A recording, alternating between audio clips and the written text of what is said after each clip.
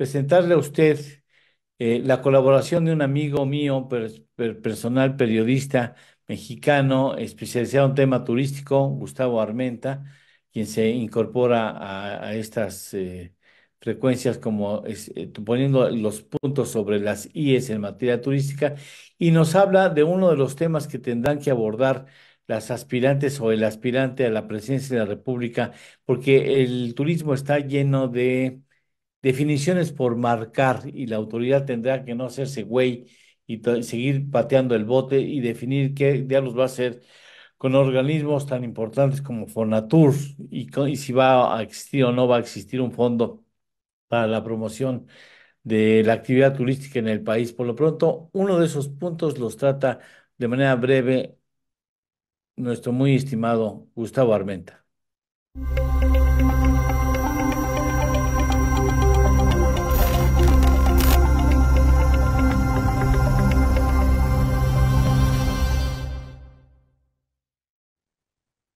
Hola Lalo, buenas tardes.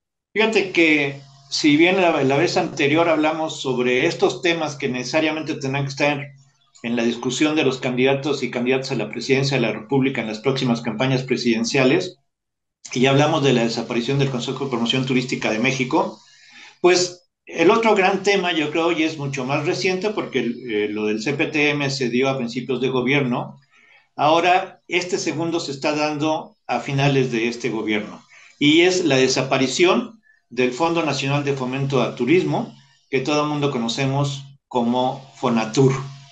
Y habrá que recordar que cuando empezó este gobierno, la industria turística por parte del eh, eh, oficial gubernamental descansaba en, tres patas, por decirlo de alguna manera, que era la Secretaría de Turismo, el Consejo de Promoción Turística de México y el propio Fonatur. Muy rápido, al iniciar el gobierno, se le quitó una pata, que fue la del Consejo de Promoción Turística, y ahora Fonatur, que durante todo el sexenio sirvió básicamente para la construcción del gran proyecto, no solo turístico, sino del gobierno del presidente Andrés Manuel López Obrador, que fue la construcción del tren Maya. Una vez concluido este gran proyecto, pues se anticipaba que podría desaparecer Fonatur, lo cual en algún momento hace meses llegó a ser mencionado por el presidente, pero esta premonición se concretó hace pocas semanas, eh, a principios de este mes de enero del 2024, cuando la secretaria de Gobernación, Luisa María Alcalde, a través de un tuit, señaló que ya se estaba llevando a cabo la transición y firmando acuerdos con gobiernos estatales para que ya Fonatur no se haga cargo de las labores que viene desarrollando, sino que esto se haga cargo los propios gobiernos de, los estados a través de los municipios donde se encuentran destinos turísticos proyectados por Fonatur. Y básicamente es, Fonatur fue creado para construir cinco ciudades lúdicas completamente dedicadas al divertimento para la recepción de turistas. Esto empezó a finales del de presidente Díaz Ordaz, eh, se le termina el sexenio, él empieza la construcción de Cancún, que ha sido el más exitoso de estos cinco destinos, que se les conoce como centros integralmente planeados. Después Echevarría construye Iztapa, construye eh, Los Cabos y empieza también la remoción, remodelación del pueblo de Loreto.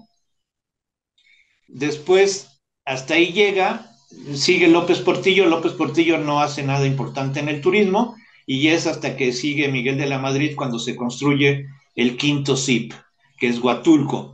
A partir de ahí ya no hubo una gran obra, estamos hablando de muchos años, pero ya después no ha habido una gran obra turística. Ha habido intentos que después trataremos, pero no ha habido una obra de esta envergadura. Fonatur, entre otras actividades menores, venía desempeñándose básicamente como para darle mantenimiento a Cancún, a Iztapa, a Loreto, a Huatulco, a Iztapa. Por eso cada vez que, vamos vemos las calles muy limpiecitas y el pasto bien cortado y todo funciona muy bien.